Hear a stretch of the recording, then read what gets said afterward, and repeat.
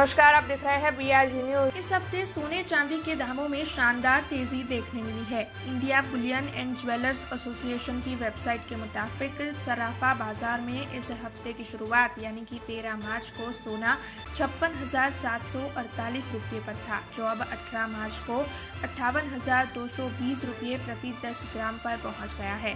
यानी इस हफ़्ते इसकी कीमत एक हज़ार चार सौ बहत्तर बढ़ी है। आपको बता दें कि मौजूदा परिस्थितियों में सोना चौंसठ हज़ार तक पहुँच सकता है। तो वहीं ये जो वेबसाइट है, उसी के मुताबिक इस हफ़्ते चांदी में तीन हज़ार रुपयों से ज़्यादा की तेज़ी देखने मिली है। इस हफ़्ते की शुरुआत में चांदी तिरसठ हज़ार चार सौ तीस रुपये पर थी, जो अब छियासठ हज़ार सात सौ तिहत्तर रुपये प्रति किलोग्राम पर आ गई है। यानी इस हफ़्ते इसकी कीमत तीन हज़ार तीन सौ तैयलीस रुपये बढ़ी है। अब खबरों से लगातार अपडेट रहना हुआ आसान। बीआरजी न्यूज़ आपके मोबाइल स्क्रीन पर। आज ही बीआरजी न्यूज़ की mobile app Google Play Store और ऐप स्टोर से डाउनलोड करें और खबरों से लगातार जुड़े रहें।